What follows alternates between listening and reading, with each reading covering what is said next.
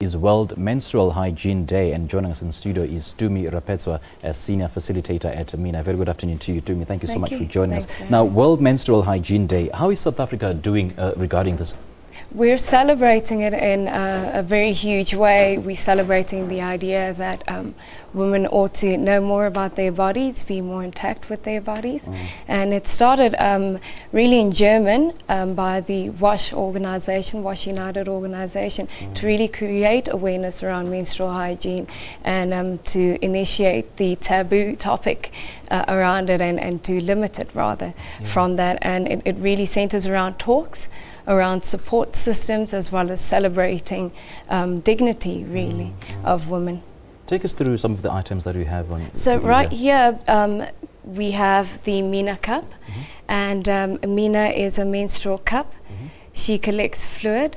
She's 100% medical grade uh, silicone, FDA approved, from Germany, imported um, from Germany, um, um, made in South Africa. So I'm proudly South African, and she's the an, an alternative um, um, to your uh, sanitary products such as your pads and your tampons. And we're doing this because um, we really also trying to impact the environment. When you think about uh, pads, they take about 500 years to biodegrade. Yeah. You know, they, t- they take a while. And um, so we really look at the environment, preserving the environment. This lasts for five years Okay. if well taken care of. And also, when inserted into the vagina, lasts for six to eight hours. Right, So right. it, it's friendly to the child. She's a she.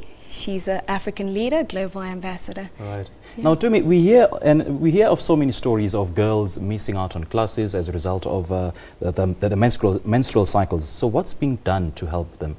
Well, we do training, we do facilitating, we mentor the young girls uh, about MINA and not just about MINA but themselves to really say that, you know, you are the future and this shouldn't limit you.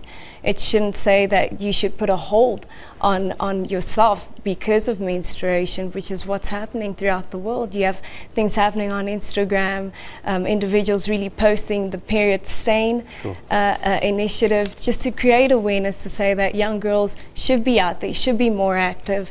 Um, you, you hear cases in Nepal about individuals being limited to huts. Uh, when they um, menstruating, you know, so we want more young girls to be active, and that's what we train them, and that's what we teach them through the MINA Cup organization. Yeah. And apparently, good clean toilets at schools mean that girls can actually manage their menstruation much better. Is that yeah, true? Yeah, definitely, because women need privacy.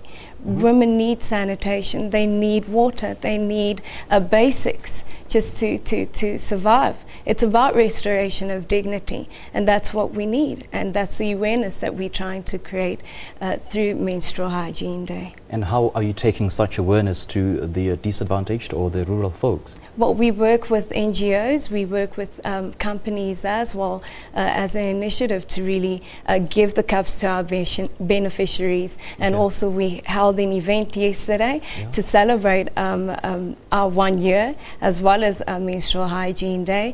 We had a, a, a chai fundraiser, we raised about 100,000 Rand. So, this is about the girls and it's also about facilitation and training. Yeah, That's yeah. important, that's crucial.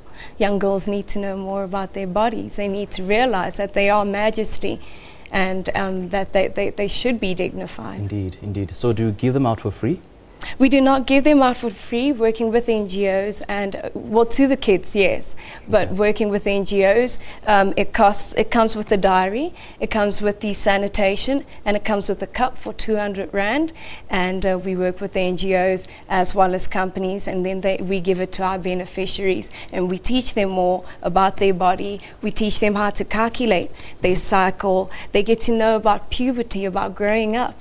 That's what it's about because oftentimes this is deemed awkward. Mm-hmm. They get to know about sexuality, pregnancy, what that means, and, and how to plan for a better future. Do you think this initiative will be much more effective then, especially in the rural communities, if it comes at a, at a price? Oh, In terms of? In terms of pricing, in terms of price, because they can't afford such. They can't afford, hence why we're, we're urging NGOs to, to contact us. Okay. Hence why we're urging companies to, to, to, to donate as Right. well to make this their uh, initiative. It isn't free, but to the girl child, this is free. is this free is what them. they need. Okay. And uh, this is an alternative that's lost. This is cost efficient. Yeah. It's flexible. It's comfortable. We give them training um, in terms of how to use the cup, how to fold it, how to fit it, how to clean it. Okay. It becomes th- that's that's very important. It becomes very efficient for the young Wow, child. wow. Yeah. All right, Tumi, thank you so much for your time. Thank you Great for chatting to having. Thank All you right. for having That me. was uh, Tumi Rapetswa, a senior facilitator at uh, Mina, uh, just uh, in celebration of uh, World Menstrual Day. All right, let's take a short break now. And uh, before we go to the break, let's now move on to the weather center.